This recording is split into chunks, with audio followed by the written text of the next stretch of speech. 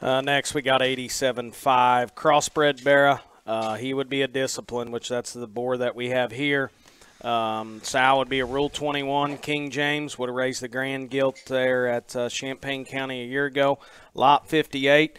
Uh, you know, this was a barrow that uh, definitely was on the short list. Probably should have been a choice lot, but uh, can't make them all choice lots.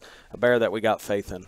87.5. Uh, when you walk in Seth Show Barn uh, and you go back into the pens, that's the, the very first pig that I saw last evening and uh, basically gave him a quick, what's that? And uh, he proceeded to parade him. Huge chest, long neck, flat back, big rear ended kind of a bear that's got big paws. Uh, a bright, bright future for one like this. Uh, I could probably try to talk him down, but y'all are going to see the videos because that's one that we'll probably uh, get after here just a minute. Huge legs, awesome look. Uh, I love his squareness and just ability and agility. a unique show pig. Lots and lots of upside here. Sky's the limit.